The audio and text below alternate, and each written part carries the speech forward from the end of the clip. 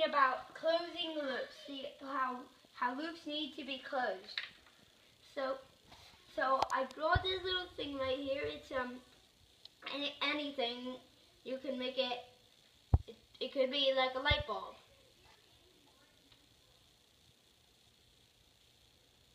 There, there you go.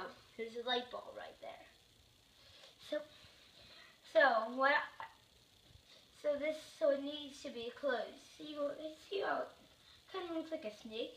Like this is the front of the snake. This is the back of the snake. This is the front of the snake. This is the back of the snake.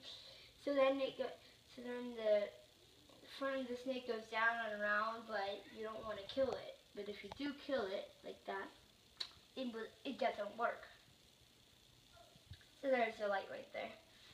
And then I have some real circuit boards. Most of you have probably seen a circuit board.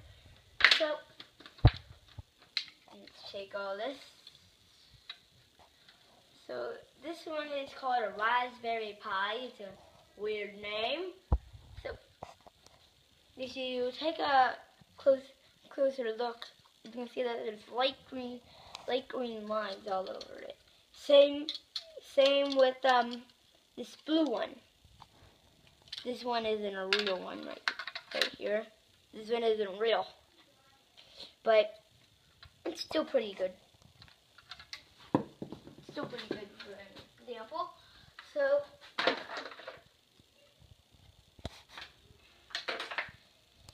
So yeah, I talked about mostly all of this stuff. Now let's go into this. So, see how it kind of looks like a circuit board? That square part looks like a circuit, board. Since this is out, um, since this is out, it looks like an, uh, I killed the snake. I'm not drinking any water through it. There's water in this truck, it's a straw type thing. But it, but now that the circuit is closed, I'm getting water.